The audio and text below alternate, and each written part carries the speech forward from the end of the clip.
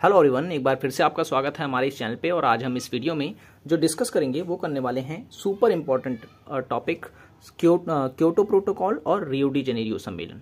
ठीक है? तो यूजीसी नेट पेपर वन की अगर आप तैयारी कर रहे हैं तो पीपल एंड एनवायरनमेंट में ये दो टॉपिक दिए गए हैं, क्योटो प्रोटोकॉल और रियो डी जेनेरियो। तो ये आज हम डिस्कस करेंगे। तो वीडियो पसंद आए तो लाइक ज़रूर करना। चैनल को सब्सक्राइब नहीं किया है तो ज़रूर कर ले, ताकि इस तरह की वीडियोज़ की नोटिफिकेशन आपको मिलते रहे।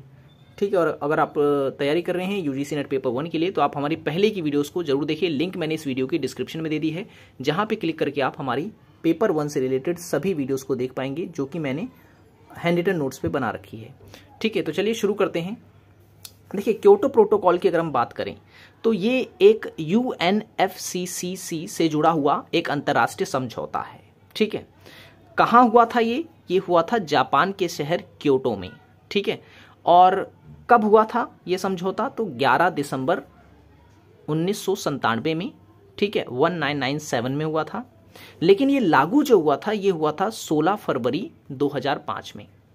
ठीक है, एग्ज़ाम में ये क्वेश्चन पूछा जाता है कि कब लागू हुआ था तो 16 फरवरी 2005 में। और क्योटो प्रोटोकॉल, जो कि समझौता है, इसका उद्देश्य क्या था?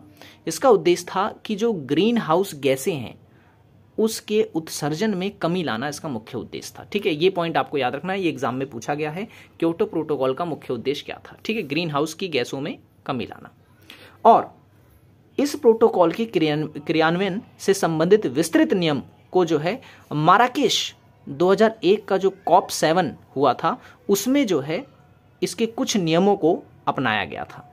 ठीक है, इसके विस्तृत नियमों को अपनाया गया था, इसलिए क्योटो प्रोटोकॉल समझौते को जो है मराकेश समझौता भी कहा जाता है। ठीक है मराकेश समझौता भी कहा जाता है।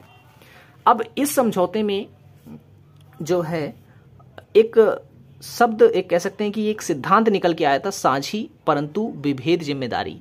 इसे इस नाम से भी जानते हैं कि साझी ज़िम्मेदारी किंतु अलग अलग भूमिका। ठीक है ना? तो दोनों ही, एक ही है। ठीक है, इसमें अलग अलग ना समझे। इसका मतलब क्या है, ये समझिए ग्रीन हाउस उत्सर्जन, ठीक है ना? ग्रीन हाउस गैसों का जो उत्सर्जन है, ये सबसे अधिक मतलब हालाँकि करते तो सभी देश हैं, लेकिन सबसे अधिक उत्सर्जन इसका किया जाता है औद्योगिक देशों के द्वारा, ठीक है? तो इस समझौते के तहत उन्हें ही इसके लिए उत्तरदायी या कहें कि जिम्मेदार ठहराया गया था किनको विकसित देशों को, ना कि विकासशील देशों को, ठीक है? तो इसीलिए ये वाक्य निकल के आया था, साझी परंतु विभेद ज़िम्मेदारी। ठीक है क्योंकि इसमें जो है विकासशील देशों को ना आ, मतलब जिम्मेदार ठहरा करके विकसित देशों को जिम्मेदार ठहराया गया था ठीक है? तो ये आपको इसमें याद रखना है। रियो डी जेनेरियो सम्मेलन से भी क्वेश्चन पूछा जा सकता है। तो रियो डी जेनेरियो सम्मेलन जो है ये कहाँ हुआ था? तो ये हुआ था ब्राज़ील के शहर रियो डी जेनेरियो में ठीक है? ब्राज़ील के शहर रियो डी जेनेरियो में सम्मेलन हुआ था और और पर्यावरण से जुड़ा हुआ ये सबसे बड़ा सम्मेलन था। इससे पहले जो सम्मेलन हुआ था, वो हुआ था उन्नीस सौ बहत्तर में 1972 में, ठीक है, जो कि पर्यावरण का पहला सम्मेलन था, स्वीडन में जो कि हुआ था, ठीक है। लेकिन उसमें अधिकतर देशों ने हिस्सा नहीं लिया था, इसमें सबसे ज़्यादा देशों ने हिस्सा लिया था और ये काफ़ी विस्तृत रूप में था तो इसीलिए पर्यावरण का सबसे बड़ा सम्मेलन जो है, रियो जेनेरियो सम्मेलन को कहा जाता है, ठीक है।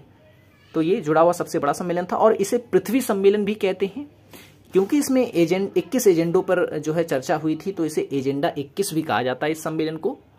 और इसका आधिकारिक नाम क्या था रियोडी जनेरियो सम्मेलन का? तो ये आपको याद रखना है, पर्यावरण एवं विकास पर संयुक्त राष्ट्र सम्मेलन। ठीक है, ये इसका आधिकारिक नाम है।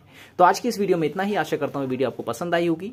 वीडियो पसंद आई हो तो लाइक करें। अगर इसी तरह की आप छोटी छोटी वीडियोस पे अपने टॉपिक्स चाहते हैं तो।